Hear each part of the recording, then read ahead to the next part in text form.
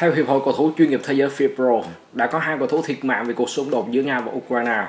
Trên trang chủ FIPRO xác nhận hai cầu thủ xấu số qua đời là Vitaly Sapilo, 21 tuổi, và Dmitro Martinenko, 25 tuổi.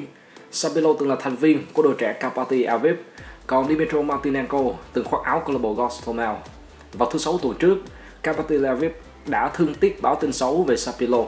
Tương tự Gostomel cũng xác nhận Dmitro Martinenko đã qua đời Riêng trường hợp của Martinenko, cầu thủ này bị tử nạn cùng với gia đình sau khi bị bom của quân đội Nga ném trúng vào nhà.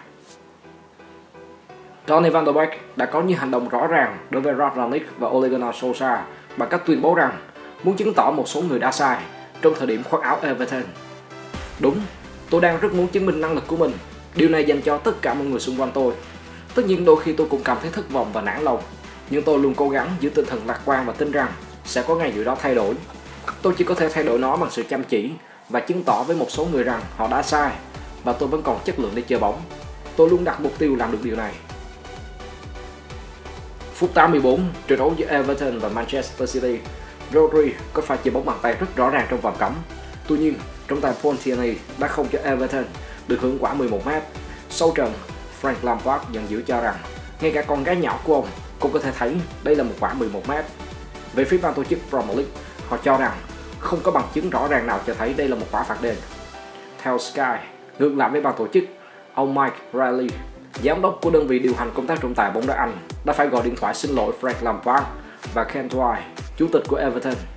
Dù sếp lớn Mike Riley đã đứng ra xin lỗi, nhưng kết quả trận đấu giữa Manchester City và Everton cũng không thay đổi.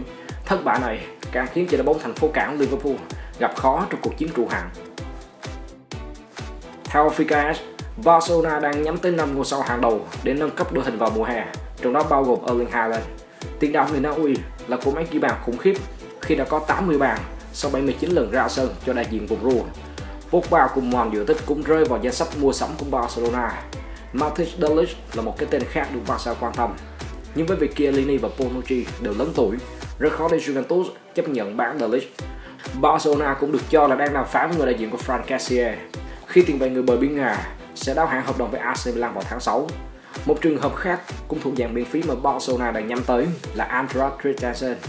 Theo nhà báo Gerard Romero, 99% Christensen sẽ là trung vệ của Barcelona trong mùa giải sau. Matteo Guendouzi sẽ được Marseille chính thức mua Đức vào tháng 6 này. Sau khi nhập đội bóng thành phố cảng dưới dạng cho mượn từ Arsenal, Matteo Guendouzi đã trở thành trụ cột trong đội hình của huấn luyện viên Jorge Sampaoli anh đã ra sân 38 trận trên mọi đấu trường kể từ đầu mùa, góp công lớn giúp Marseille đang đứng vị trí thứ hai trên bảng xếp hạng. Phong độ xuất sắc của tiền vệ đang thuộc vị trí Arsenal đã thuyết phục hoàn toàn ban lãnh đạo Marseille. Theo đó, câu lạc bộ của Pháp đã quyết định mua đứt Guendouzi với giá 9 triệu bảng vào tháng 6. Tiền vệ người Pháp sẽ đặt bút ký bản hợp đồng có thời hạn 3 năm để giữ anh ở lại Stade Vélodrome đến mùa hè 2025. Nhằm chuẩn bị cho SEA Games 31 và vòng chung kết U23 châu Á, U23 Việt Nam đã nhận lời tham dự giải giải hội quốc tế U23 diễn ra tại Dubai vào cuối tháng 3.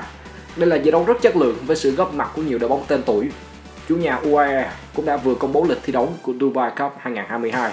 Giải đấu diễn ra từ ngày 20 đến ngày 30 tháng 3. Theo lịch thi đấu, U23 Việt Nam sẽ đụng độ Iraq ở lượt trận đầu tiên vào ngày 23 tháng 3. Đây là đội bóng mà thầy trò Park đã từng đánh bại ở vòng chung kết U23 châu Á 2018 trên chấm penalty. Sau đó 3 ngày, U23 Việt Nam sẽ bước vào trận đấu thứ hai gặp U23 Trung Quốc. Trận đấu này rất được người hâm mộ bóng đá Việt Nam quan tâm, đặc biệt trong bối cảnh thầy trò Park Hang-seo vừa đánh bại Trung Quốc với tỷ số 3-1 ở vòng loại World Cup.